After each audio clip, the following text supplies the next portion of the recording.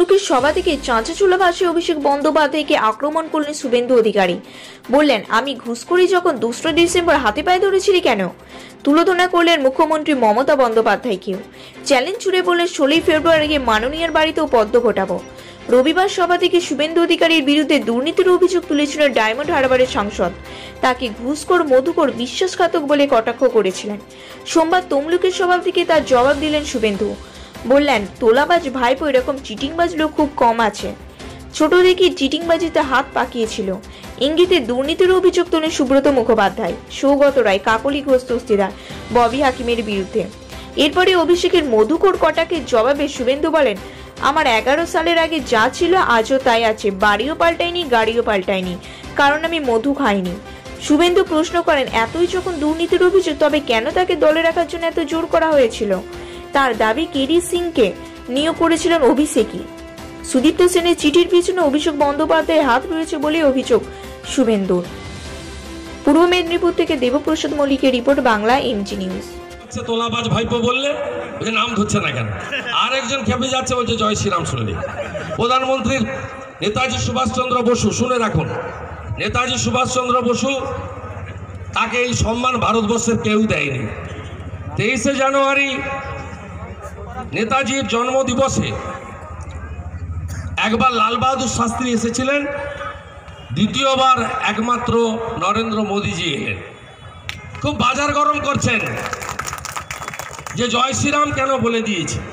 জয় শ্রীরামে আপনার এত আপত্তি কেন? এত রাগ কেন আপনার জয় শ্রীরামের? আপনাদের বলে নিয়ে একটা বই আছে। বইটার নাম হচ্ছে পত্রাবলী। উনিশশো বারো থেকে উনিশশো বত্রিশ সুভাষচন্দ্র বসু। এই বইটা পাওয়া যাবে Netaji research bureau, MC Sarkar and sons private limited, পৃষ্ঠা ষোলো থেকে সতেরো। এখানে নেতাজি সুভাষচন্দ্র বসু তার মাকে লিখছেন, তোলাবাজ ভাইপো তো নেতাজি জন্মস্থান পাল্টে দিয়েছে, বাংলা করে দিয়েছে। জানে না, পড়াশোনা করেনি তো? নেতাজি কটকে জন্মেছিলেন, সবাই জানি আমরা। কটক থেকে মা প্রভাবতী দেবীকে চিঠিটা লিখছেন।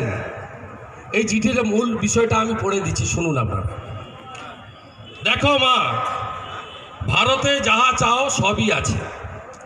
প্রচণ্ড গ্রীষ্ম, দারুণ শীত, ভীষণ বৃষ্টি, আবার মনোহর শরৎ ও বসন্তকাল, সবই আছে। দাক্ষিণাত্যে দেখি স্বচ্ছ সলীলা পূর্ণ তোয়া গোদাবরী দুই কুল ভরিয়া তরতর তর কল কল শব্দে নিরন্তর সাগরাভিমুখে চলিয়াছে কি পবিত্র নদী? দেখিবা মাত্র, ভাবিবা মাত্র রামায়ণে পঞ্চবটির কথা মনে পড়ে। তখন মানস নেত্রে দেখি সেই তিনজন, রাম, লক্ষণ ও সীতা। সমস্ত রাজ্য ও সম্পদ ত্যাগ করিয়া সুখে, মহাসুখে, স্বর্গীয় সুখের সহিত গোদাবরী তীরে কালহরণ করিতেছেন। আর এদিকে আমরা সাংসারিক দুঃখানলে নিরন্তর পড়িতেছি। দেখি পুণ্য সলীলা জাহ্নবী সলিলভার বহন করিয়া চলিয়াছে। আবার রামায়ণের একটি দৃশ্য মনে পড়ে।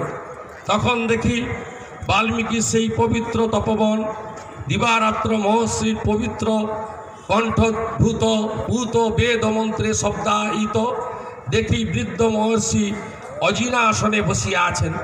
তাহার পদতলে দুইটি শিষ্য, কুশ ও লভ মহর্ষি তাহার দিগকে শিক্ষা দিতেছেন।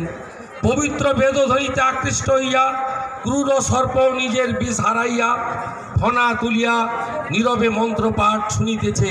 রামায়ণে সমস্তই পবিত্র, সামান্য তৃণের বর্ণনা পর্যন্ত পবিত্র। কিন্তু হায়, সেই পবিত্রতা আমরা ধর্মত্যাগী বলিয়া আর এখন বুঝিতে পারি না। কটক থেকে মা প্রভাবতী দিকে লিখছে দেবীকে লিখছে। নেতাজির সার্টিফিকেট এরা দেবে।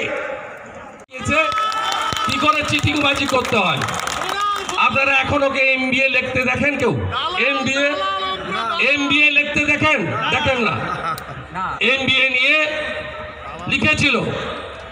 প্রাক্তন মন্ত্রী গৌতম দেব বলেছিল, দিল্লিতে এরকম কোনো ইউনিভার্সিটি নেই যেখান থেকে এম বিএ পেরেছে। ও লিখে না, উনাকে যিনি আদরে দুলাল করেছে, আদরণিয়া, তিনিও ডক্টরেট লেখেন না। চিটিংবাজি শুরু ছোট বয়স থেকে। হাত পাকিয়েছে চিটিংবাজিতে। বলেছে, আপনাকে খবর কাগজ মুড়ে কিছু একটা নিতে দেখা গেছে। আরে বলি, মাননীয় ভাইপো আপনার বড় জেঠা সুব্রত মুখার্জির কি হবে? আপনার মেজ জেঠা মাস্টারমশাই সৌগত রায়ের কি হবে?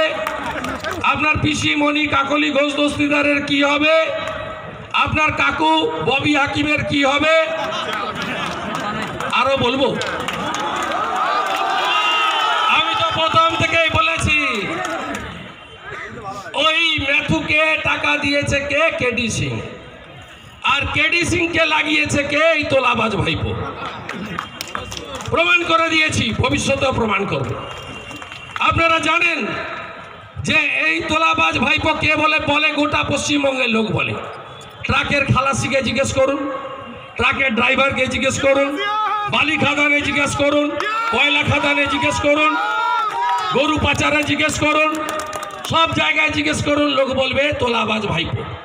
সব জায়গায় বলি বড় বড় কথা সাতাশে নভেম্বর আমি মন্ত্রিসভা থেকে পদত্যাগ করেছি। পয়লা ডিসেম্বর জেলে থাকা সুদীপ্ত সেনকে দিয়ে চিঠি লিখিয়েছে।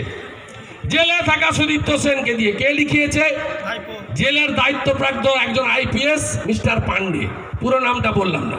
মিস্টার পান্ডে তাকে লিখতে বলেছে কে? নবান্নে বসে থাকা জিবি সিং বলে একজন আইপিএস অফিসার। তাকে লিখিয়েছে। তাকে লিখতে বলেছে কে? ভাইপোর একজন মোটা অ্যাডভোকেট আছে, তার ড্রাফটিং আর ভাইপো তোলাবাজ ভাইপোর নির্দেশ দিয়ে এটা লিখিয়েছে। আপনারা বলুন তো, আপনারা বলুন, বিমান বসুর নাম লিখেছে। বিমান বসুর সম্পর্কে এই তোলাবাজ ভাইপো জানে না। বিমানবাবু এখনও নিজের ব্যবহার্য কাপড় জামা নিজের হাতে কাছে। আমি সিপিএম এর বিরোধী রাজনীতি করেছি। কিন্তু আমি কখনো প্রমোদ দাসগুপ্ত বিনয় চৌধুরী, গীতা মুখার্জি, বিশ্বনাথ মুখার্জি, সুকুমার সেনগুপ্ত, তাদেরকে আমি প্রণাম করি। এরা কমিউনিস্ট পার্টির একজন দিকপাল ছিল। আমার লড়াই লক্ষণবাবুদের বিরুদ্ধে ছিল। হারমাদগিরির বিরুদ্ধে ছিল। কিন্তু আমার বামপন্থা আন্দোলনের বিরোধিতা আমি করিনি। আমার মাস্টারমশাইয়ের নাম সুধীর গিরি আপনারা বলুন, বিমানবাবু নিজের হাতে কাপড় জামা কাছেন দুপুরবেলা আমরা সবাই ভাত খাই, রুটি খাই। বিমানবাবু মুড়ি আর শশা খান। রাত্রিবেলা গণশক্তি অফিস থেকে আসে, তার নাম পর্যন্ত লিখেছে। একুশের ভোটে যারা যারা বিরোধিতা করতে পারে, বিমান বসুর নাম লিখেছে, অজিত চৌধুরীর নাম লিখেছে, সুজন চক্রবর্তীর নাম লিখেছে, মুকুল রায়ের নাম লিখেছে, আর শুভেন্দু অধিকারীর নাম লিখেছে। কবে লিখিয়েছ? পয়লা ডিসেম্বর। আর আমি মন্ত্রিসভা ছেড়েছি কবে? সাতাশা নভেম্বর। আর আমার কাছে তো সব আছে। আমার কাছে এই ম্যাডাম নারোলাটাকে। ম্যাডাম নারোলাটাকে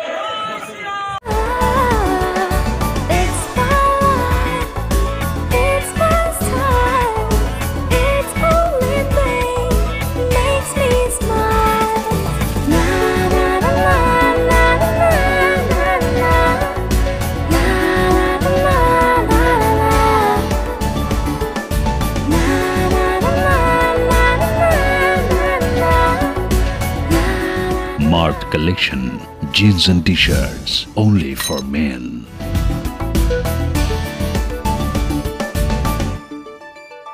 Mobile India অনলাইনের থেকেও সস্তায় কম দামে মোবাইল পেতে আমাদের শোরুমে আসুন পুরাতন ফোন এক্সচেঞ্জ করে নতুন ফোন কিনুন। জিরো পার্সেন্ট ইন্টারেস্টের সহজ কিস্তিতে Bajaj HDB TVS home credit ও স্যামসাং ফাইন্যান্সের মাধ্যমে Vivo Oppo Realme Redmi Poco Narzo phone পাওয়া যায়।